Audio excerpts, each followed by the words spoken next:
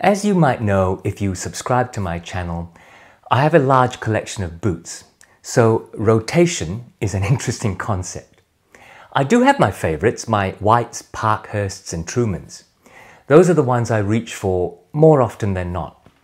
I include my Grant Stone boots in that batch, and this one, uh, their Moc-Toe Do Anything boot, is my favourite boot of this style.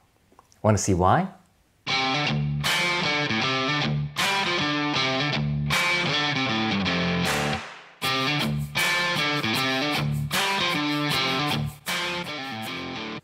G'day, my name is Tech and welcome to my channel called Bootlosophy.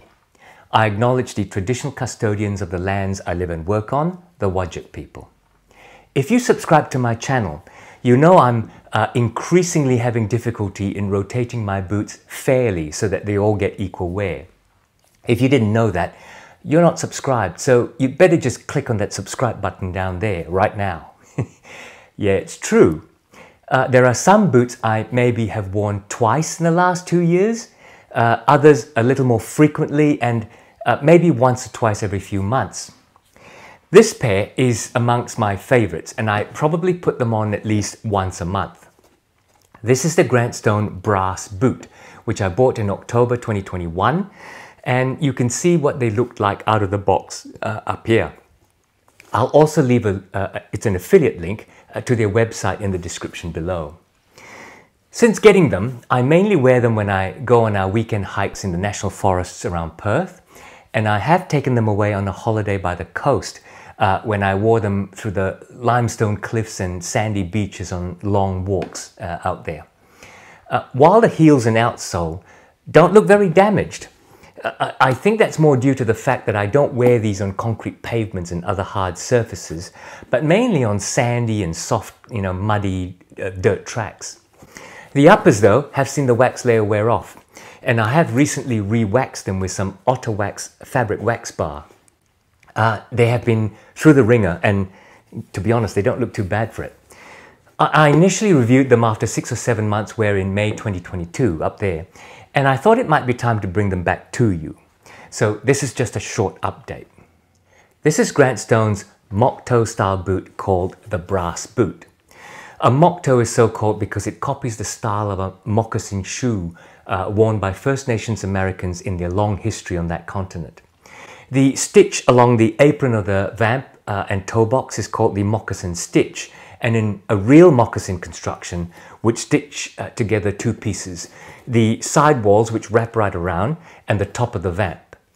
Uh, in this case, there's only one piece of leather forming the front of the boot and the stitch, is, which is hand stitch, just gathers and puckers that leather to create that uh, Moc-Toe effect.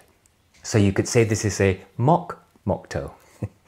um, this brass boot is in the makeup called Earth which is a waxy commander or waxed suede leather from English tannery Charles F. Stead.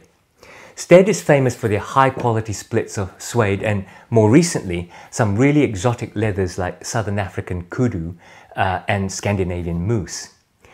In this case, while other tanneries also make uh, versions of waxed suede, Stead are famous for their version called Waxy Commander, that's their name uh, which is treated and waxed in the tannage as well as in the finishing, uh, so that it's pretty waterproof. Out of the box, the wax covering is quite thick, not as thick and shiny as wax flesh, but getting up there. Uh, however, as it is a supple suede, the leather flexes very quickly with wear, uh, and the wax wears and scuffs off quickly, revealing the base suede in the creases and folds. In other examples, like in Caswell's uh, Lisbon boot in Snuff Waxy Commander, the underlying base is a reddish color and when the dark wax wears off, the reddish nap is revealed in a really incredible patina. From time to time though, you may wear your Waxy Commander so hard that some of the waterproofness wears off. But you can always re-wax them, as I did to my Grant Stone Edward boots uh, in Tobacco Waxy Commander, which you can see the process up here. Most of you, I'm guessing, would know Grant Stone. And in my review, which I uh, linked to earlier, I went into their full details. But for now, some highlights. Uh, founded by Wyatt Gilmore and Josh Lang in 2016 as a web-based direct-to-consumer manufacturer of quality heritage-style Goodyear welted boots. Due to his family connections in boot manufacturing, uh, Wyatt worked in a factory in Xiamen, China, and when he started Grant Stone, commissioned that factory, which he knew so well, to make their boots. Grant Stone is based in uh, Michigan, and the boots are shipped there from the factory where they then do final QC checks, uh, warehouse, and ship to customers. Everyone will tell you that Grant Stone's manufacturing quality and QC process is crazy good. I've personally bought factory seconds that on arrival have stumped me on what exactly the QC issue was that made them reject it. I honestly couldn't see any. I mean, we're talking about being as picky on quality as the real housewives of Beverly Hills are on each other's clothing. now, I said earlier that Wyatt Gilmore and Josh Lang wanted to make quality heritage style footwear. Uh, the construction method most synonymous with those two objectives is the Goodyear welt form of construction. Check out my in-depth video on Goodyear welting uh, uh, here, but basically it involves uh, real stitched soles and not glued or heat-sealed rubber bottoms. A welt is a thin strip of rubber that goes around the boot. The inside edge is stitched to the insoles and uppers and the outside edge is stitched through to the outsole. In this way, the two stitches go through different layers of the boot, meaning there are no stitch holes going right through from inside to outside, so water resistant. Also being built that way, uh, when the outsole wears out, your cobbler can undo the stitches uh, that, that, stitch it to the outsole, peel it off, and then glue and stitch a new one on, uh, all without disturbing either the uppers or sometimes even the welt itself. Grant Stone builds on this quality method by continuing to use veg-tanned insoles and midsoles and cork fillers, uh, leather heel counters and leather toe puffs, all natural, breathable, moldable materials that help the boot shape to your feet with time and wear, uh, meaning comfort levels get better and better with wear. Which brings me to how they feel now, nearly three years after I got them. Uh, firstly, I bought these in a size 8D following the usual mantra of getting a half size down from my true measured Brannock size. I take the same size 8D in Grant Stone's Leo Lasted diesel boots, and in this Floyd Last, the fit's fine. Some people say the Floyd Last, the last is that foot-shaped mold on which this shaped boot is actually built. Some say that the Floyd is roomy enough to go down another half. I disagree. Uh, I like in a high-walled mock toe boots, but there is always some room in the toe box because of the high side walls. Honestly though, I just do not slip around in these, so they're the right size. The length is fine, and the extra room just means my toes are not crunched up. So my advice is size only a half down if you're in the D width. If you have wider feet, I can't advise you on that, but you can contact Grant Stone, whose customer service and response to emails is really good. Like I said at the beginning, I have worn these at least once a month. Uh, to be honest, on some months I wear these at least once a week depending on what I'm doing and where I'm going. Uh, at any rate, it means that the pair is amongst my most worn pairs of boots, at least outdoors. How do they feel now? Well, the uppers show their suede suppleness. They are very soft on your feet and the last is shaped in the way that really supports your heels and ankles and gently wraps the waist of your foot and the instep. Uh, the width of the ball of the feet have stretched enough that now uh, they give support yet just don't feel restrictive. The rounded toes, not exactly wide, still wide enough not to squeeze your toes. The hard rubber compound of the proprietary Grant Stone lug soles is firm even now I can feel uh, hard on hard surfaces like pavements. But on softer grass and sand, it's grippy and sure-footed. The firm leather midsole and thick welt combined with the hard rubber outsole was initially hard to break in. By that I mean it hardly flexed as I walked, but in short time it learned to bend where my foot flexes uh, and is now feeling quite supportive underfoot. The arch support, it's not the best, uh, despite the steel triple rib shank. It's not bad, but there is no build-up beneath the arch to support your arch, and if you have flat feet, you may find you need some orthotic insoles. I guess I've been spoiled recently by recent acquisitions of Pacific Northwest boots with their incredible uh, built-up arches.